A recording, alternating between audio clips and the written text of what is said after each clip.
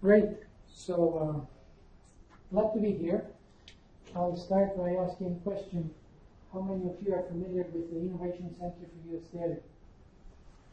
Okay, I'll make a few comments then, just uh, for the benefit of everybody else.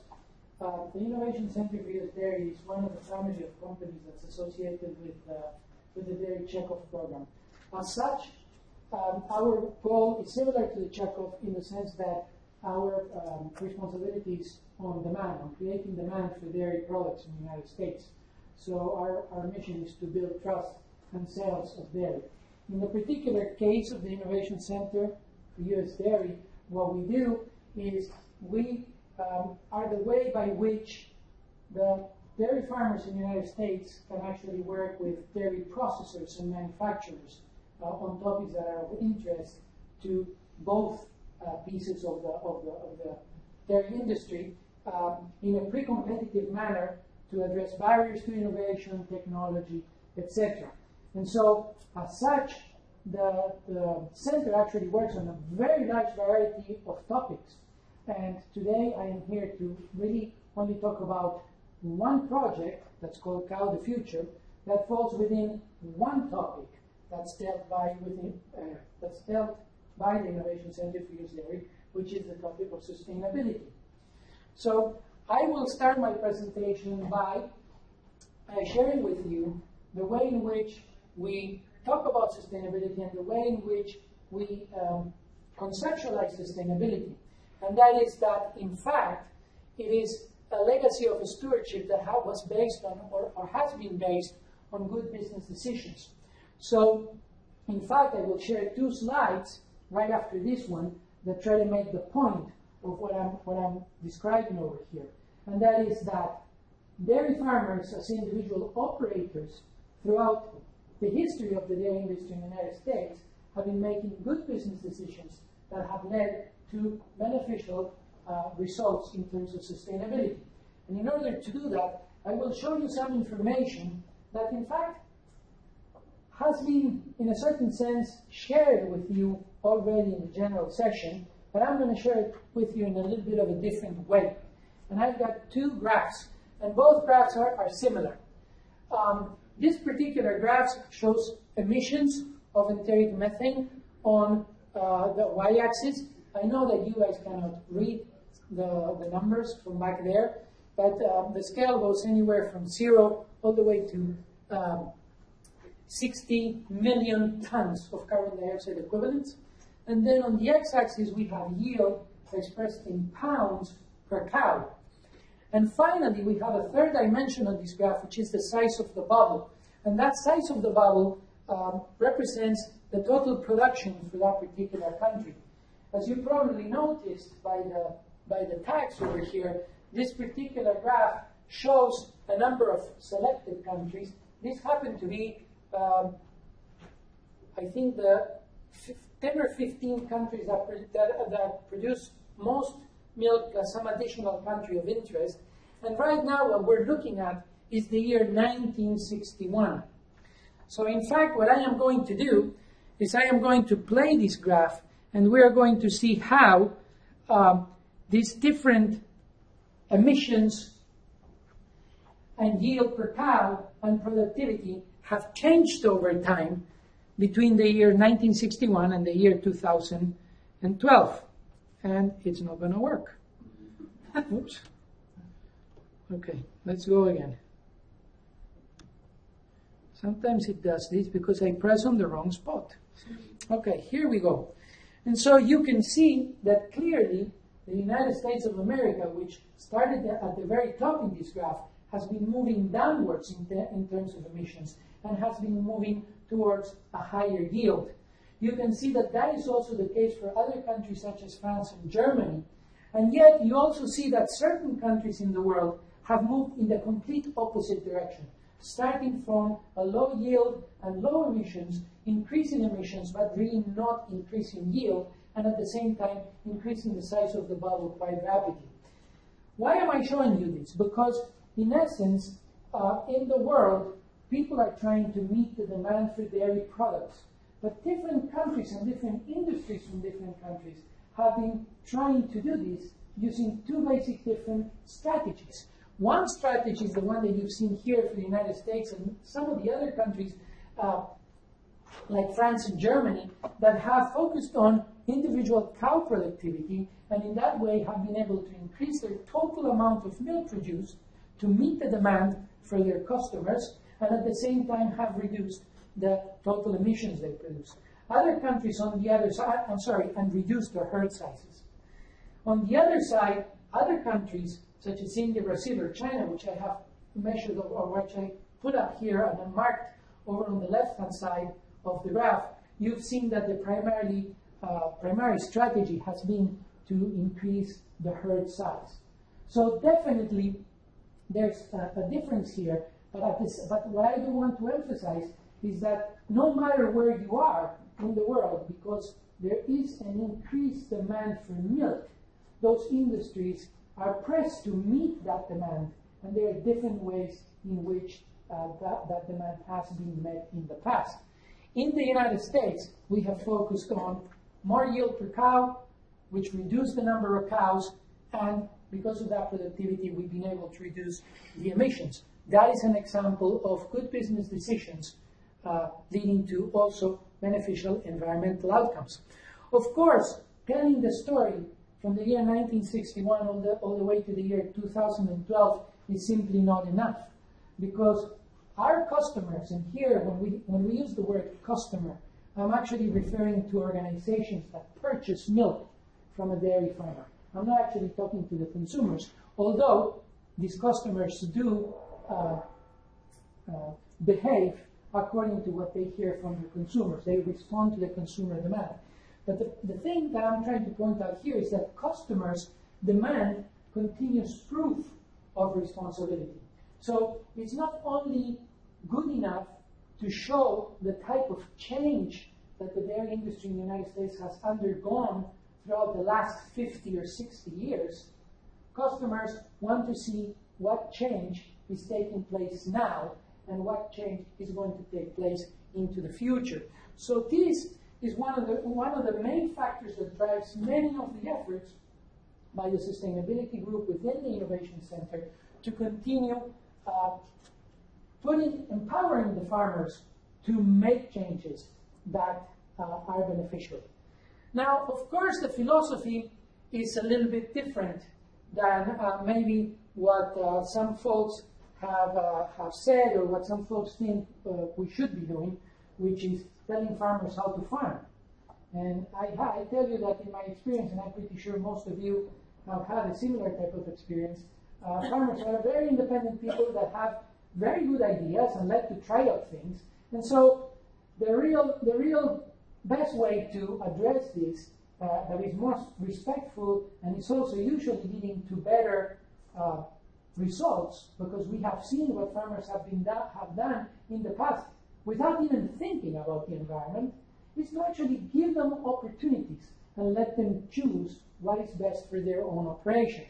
Now, having said that, methane mitigation is one of the big uh, pushes or big focus um, that have been put in place by the Innovation Center. And so um, in the year 2014, we put together a review that is uh, published in the Journal of Dairy Science that looks at enteric methane mitigation opportunities uh, that are available right now. And so you can see here that we're talking about feed and animal management practices that improve livestock productivity are probably the ones that provide the most cost-effective means to reduce methane emissions per unit of milk produced. And remember, we talk about methane emissions per unit of milk produced because our goal is to meet the demand of our, of our consumers. They, you know, so therefore, we need to understand what is our footprint per the unit of product that we put on the shelf for them to buy. There's aspects of animal management, there's aspects of genetic improvement, and there's also aspects of nutrition and feeding that uh, are discussed in this particular uh, report. But, but today I'm actually going to focus on another report that uh, I brought a little, a little thing for all of you, this uh, business card. And what I would like you to do is to take one business card and pass it over to the next, to the person next to you. I'm going to give you two, and then I'm going to give you the most because you're there. So take one and, and pass the next uh, uh, the, the, the pile over. And basically, what I'm what I'm talking about here is a report that we put together that's called Considerations and Resources on Feed and Animal Management. Because again, uh, a lot of these goals can be achieved if we focus on animal and feed management, managing the animals and the feed in the farms, and giving the farmers different opportunities for them to choose what's best for each operation. So here I'm just going to use this uh, infographic uh, to kind of walk you through what the, what the report looks like, and then I'll show you some specific examples.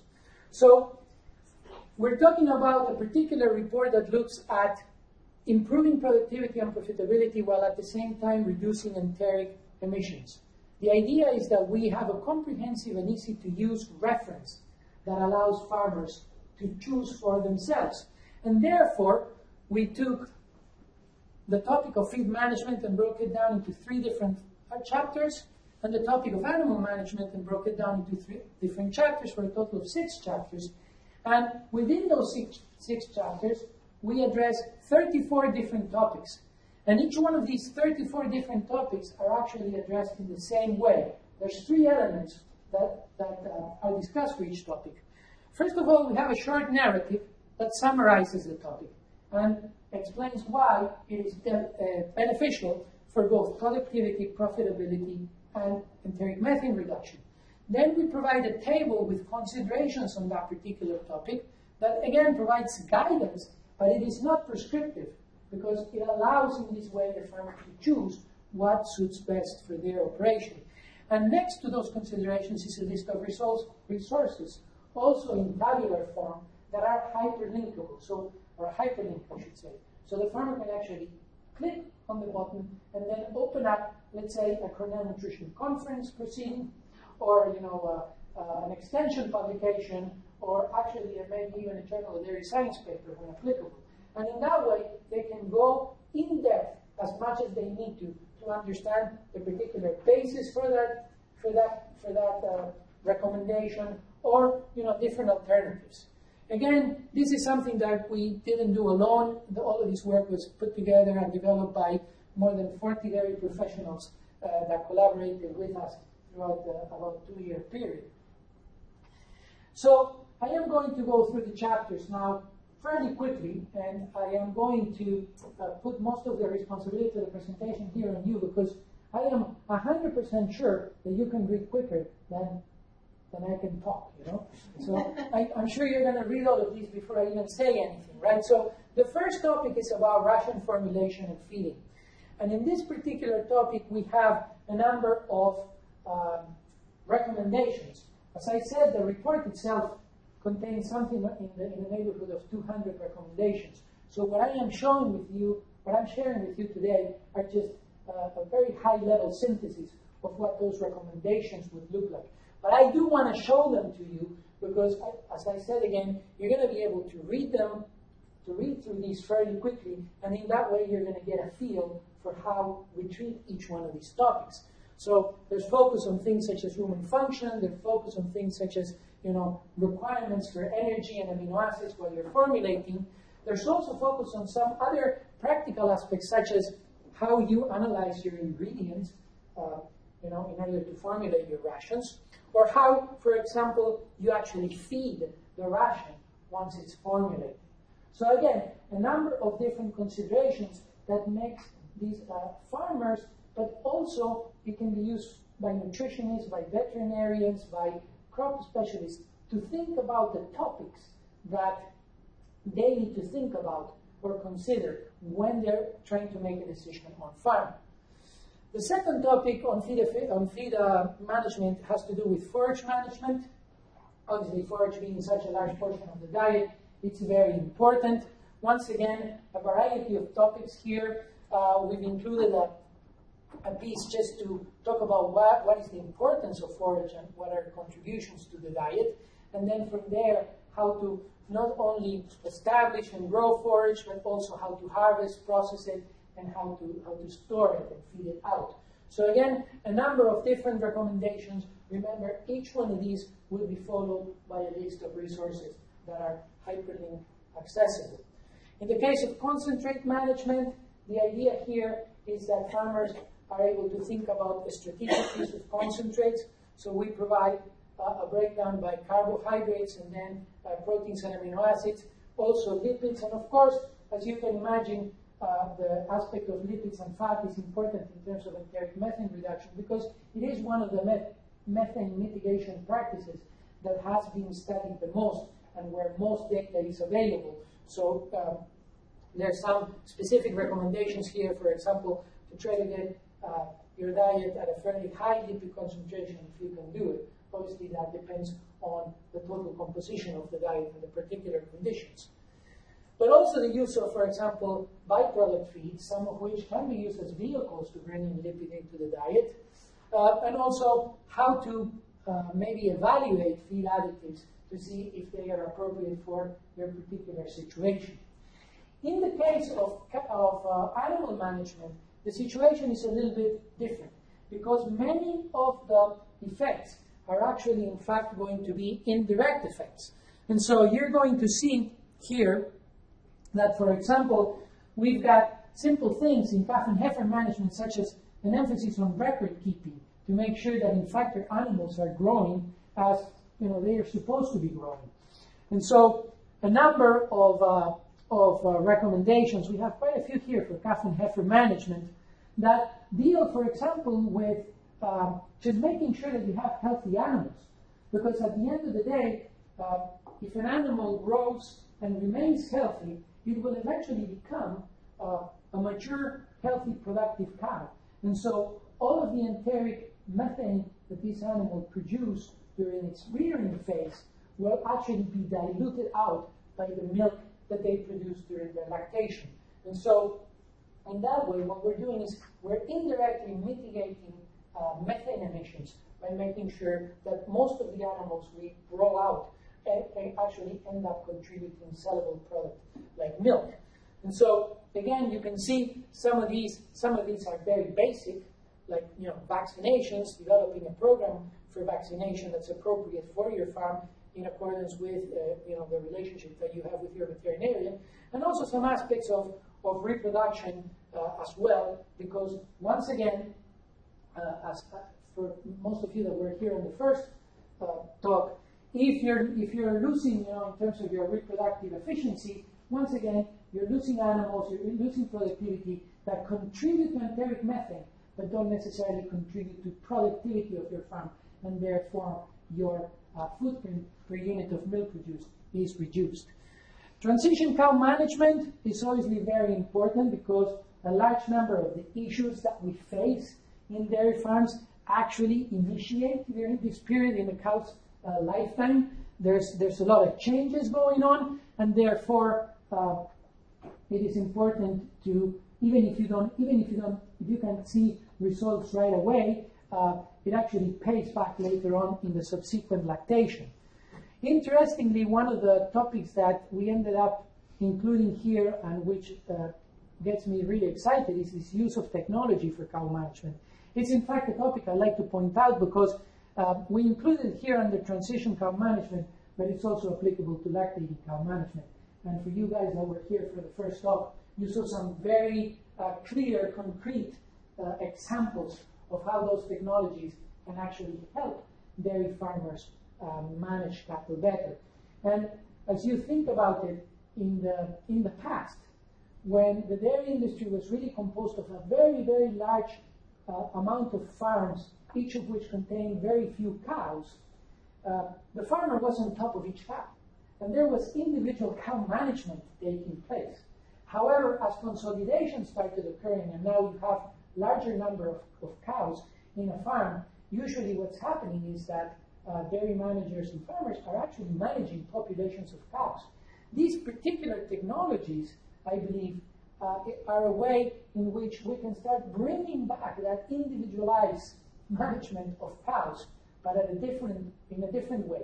We're not replacing humans for technology. In fact, what we're doing is we're using humans together with technology to bring back this individualized care for cattle where you know they are housed in, in these large uh, farms where, where you have you know, big populations of animals, and you couldn't do it otherwise, you know, unless you had an army of people looking after all the animals, which is is not going to work.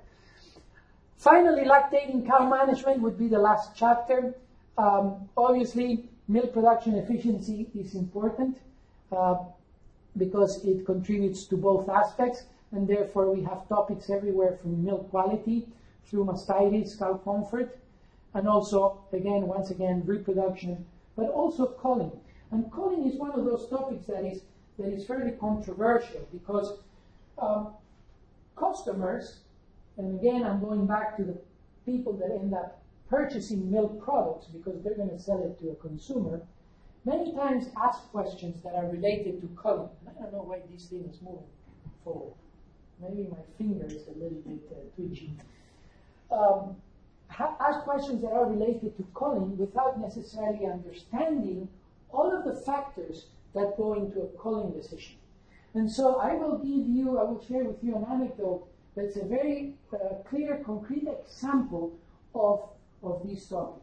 Um, the Sustainability Consortium, which is uh, a group that puts together, um, well, they, they, they, basically put together questionnaires to go ask uh, their suppliers and try to measure how sustainable they are. And they do it for uh, products across the board.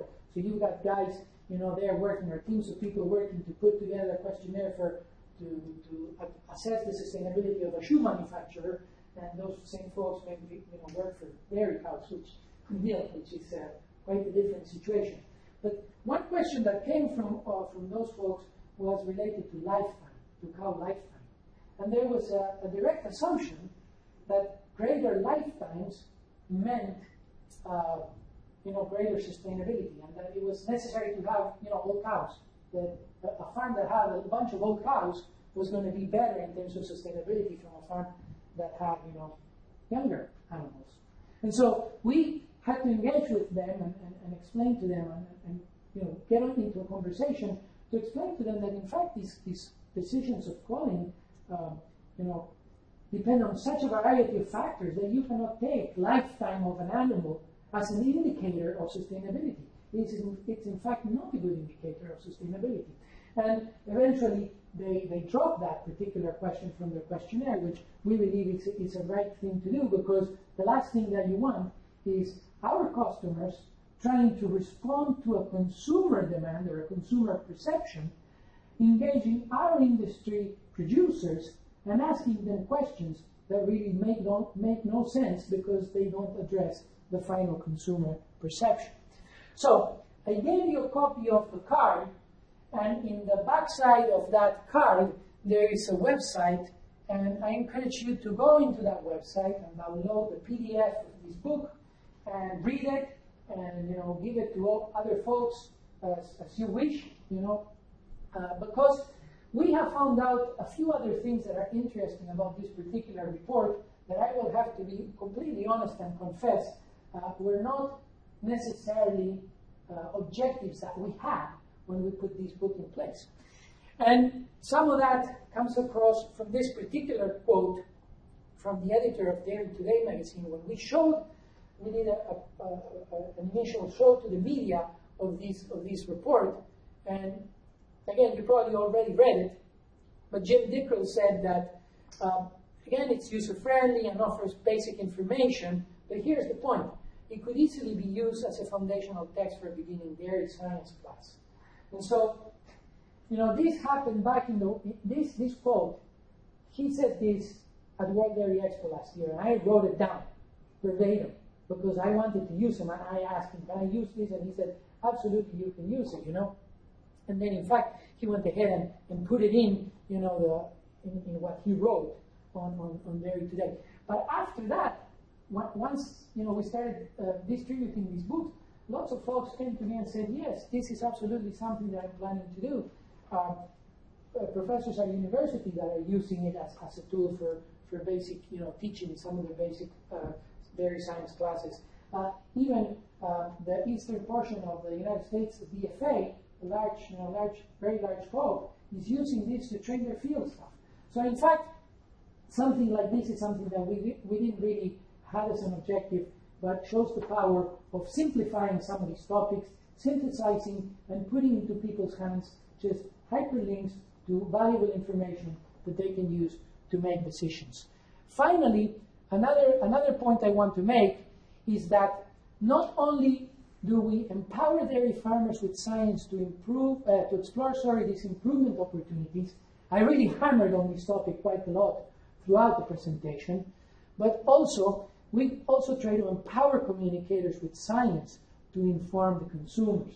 So at the Innovation Center, we have an integrated communications department that works in trying to get these types of communications out through the industry, such as retailers, uh, you know, organizations such as Domino's Pizza, you know, that want to put something in the in the pizza box about you know dairy farmers. And I don't know how many of you have actually seen some of those uh, things on the pizza boxes. You know, uh, you can raise your hand if you see if you've seen them. Um, you know, we didn't uh, intend to make this report something like this, but eventually, what's happened, to our surprise, is that we've been able to use this report and talk in lay terms to organizations, for example, such as McDonald's, when they have a question about why are dairy farmers doing such a thing, you know, such a specific management practice this way, you know. And so we say it's not capricious, it's not because, you know, they're hard-headed people and, you know, they want to do it this way because that's the only way they can think about doing it. But in fact, it's because all of these considerations were in place before a decision is made at the dairy farm. And so it has actually served the purpose of communicating down our uh, downstream customers quite well as well. Okay, with that, I'd like to uh, finish my presentation.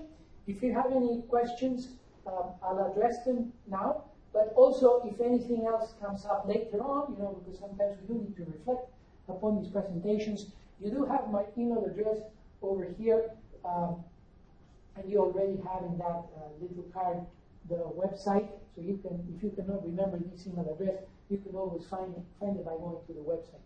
So thank you very much for your attention. Thank you.